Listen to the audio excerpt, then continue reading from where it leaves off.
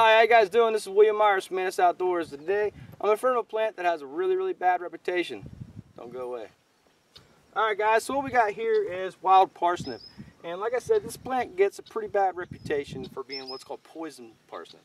Actually, just not really poisonous. What happens is, I could touch this plant pretty much all that I want, but if I snap the stem of this second year growth right here, the juices that come off that stem, if I get that on my skin and I'm sweating and I'm underneath the sun, I'm gonna get what's called photodermatitis. And it's really, really nasty blisters and, and a really bad rash.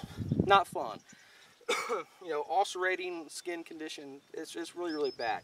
But that only happens if I break the stem. So like I said, I could touch this plant all that I want, and the leaves especially. You know, it's not really that big of a deal.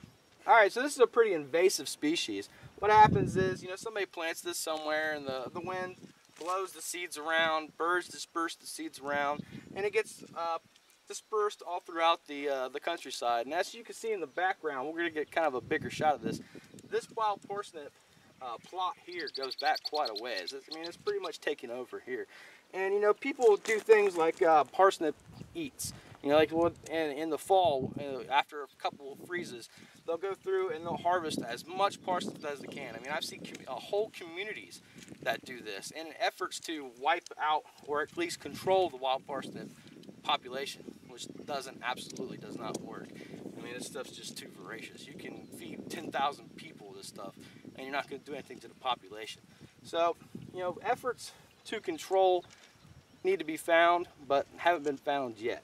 But like I said, this is one of the plants that is an awesome food source. But the bad thing about that is, is one, you're gonna be wanting to look for first year rosettes.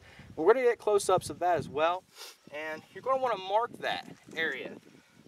and then you're gonna wanna wait till at least the first frost. You, even better if you give it a couple frost. The more frost that, that it's exposed to, the sweeter that that root's gonna be. And that's what you're gonna want to get down to. You're gonna wanna dig down mark your area, and then dig down and harvest the root of that area. Now that root stores very, very well, you know, a root cellar type of uh, root. I've even heard people putting it in uh, damp sand, and it'll keep all fall. So this is uh, something that can you know, be the thought of sustaining you throughout of a rough winter. Uh, survival situation, like I said, you're going to have to wait till the first frost. You know, it's kind of a, a, little bit on the bitter side if you if we pull this now. Uh, so I mean, you know, if, if you can find it, then great. If not, then you're not going to find it. But this is a really, really good food source, kind of a more of a, a homesteading, prepping plant. a great plant to know, a great plant to identify.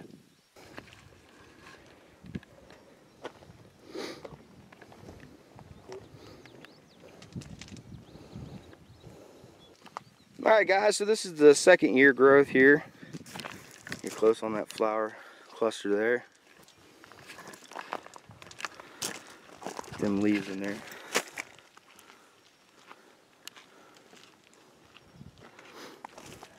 This is that first year rosette. Uh, let's get a good one here.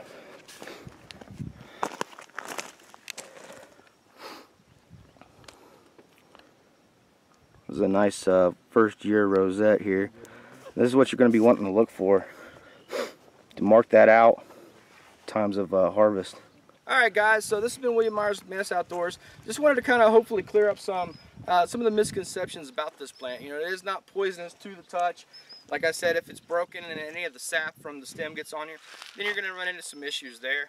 But other than that, the roots of this plant are very, very edible and the leaves as well are edible.